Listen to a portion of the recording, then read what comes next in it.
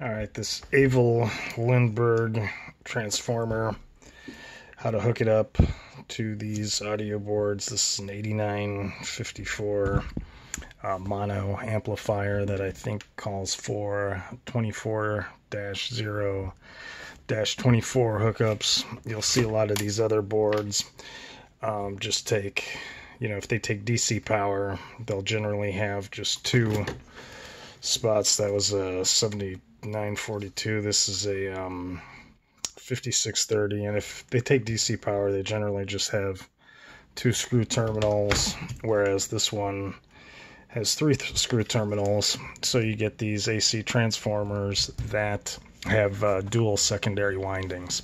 So the first thing is, is I'm just testing this out. I'm not actually uh, you know, creating this. So I'm not using a fuse, but what I do the first time with all these is I use this small light bulb uh, tester, which what this does is this can just detect shorts. So you can see if it comes on. If I'm miswired somewhere in here, that will come on. It kind of acts as a current limiter and actually has a fuse too. If it's just run away before you it'll burn out the bulb, 40 watt incandescent bulb, before it, uh, you know, burns up your transformer. So first thing, you can see the two primary windings, blue, gray, violet, and brown. That's over here. You can see that the blue and the violet both have the little asterisks by them, so I've got them going to the hot line, which corresponds with the narrow blade of the plug and then the brown and the gray going to white or neutral which is the wide end of the plug.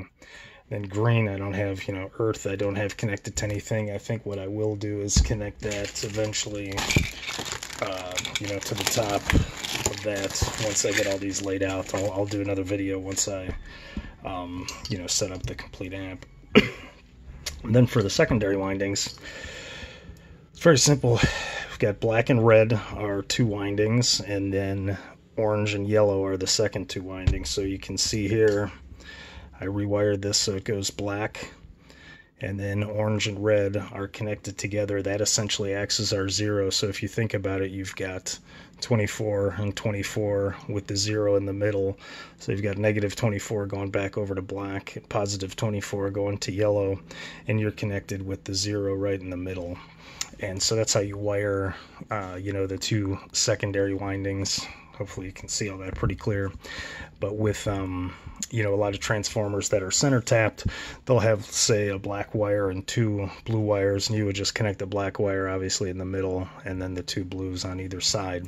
But most of these um, Avel Lindberg transformers that they're selling a couple different spots like Parts Express uh, the easiest way to connect those is that right there. So hope this helps. Super fast video and hope everybody's doing okay